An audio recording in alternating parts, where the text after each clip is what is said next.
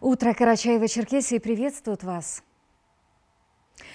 С сегодняшнего дня отделение Социального фонда России по Карачаево-Черкесии повысило страховые пенсии жителей региона, которые работали в 2023 году. Корректировка выплат коснулась всех получателей пенсий по старости и инвалидности, за которых в прошлом году работодатели платили страховые взносы.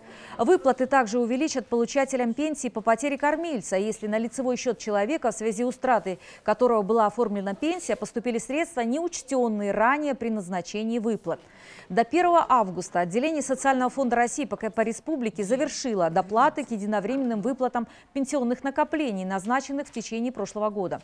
Всего по Карачаево-Черкесии перерасчет получат 545 человек. Средний размер разовой доплаты составит 2260 рублей.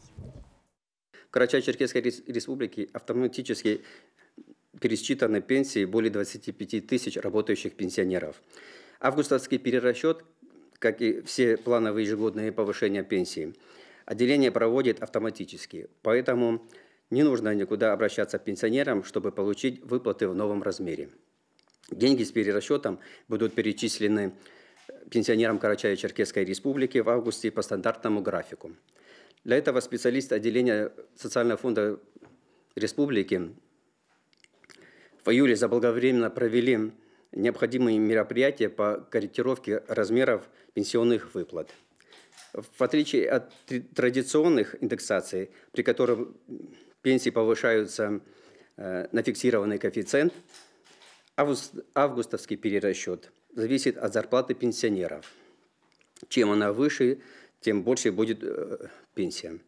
Максимальная прибавка составляет 3 пенсионных коэффициента – Помимо, помимо повышения страховой пенсии с 1 августа также увеличится размер выплат пенсионных накоплений, накопительной пенсии и срочной пенсионной выплаты, которую получают участники программы софинансирования пенсии.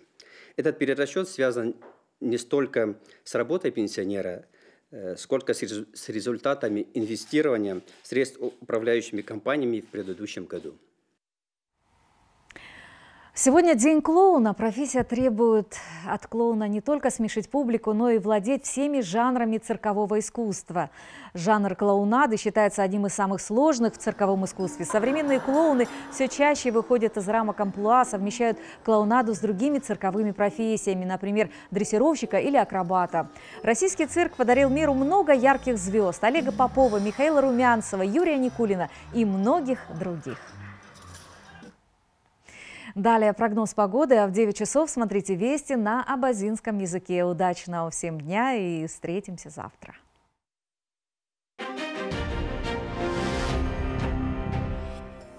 В Карачаево-Черкесии местами кратковременный дождь, ночью в отдельных районах сильный.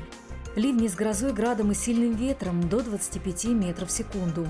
Ветер западный 6-11, температура ночью 12-17, в горах до плюс 9, днем 24-29 градусов тепла и местами до плюс 20. В Черкеске без существенных осадков, ветер западный 6-11 метров в секунду. Температура ночью 15-17, а днем 27-29 градусов тепла.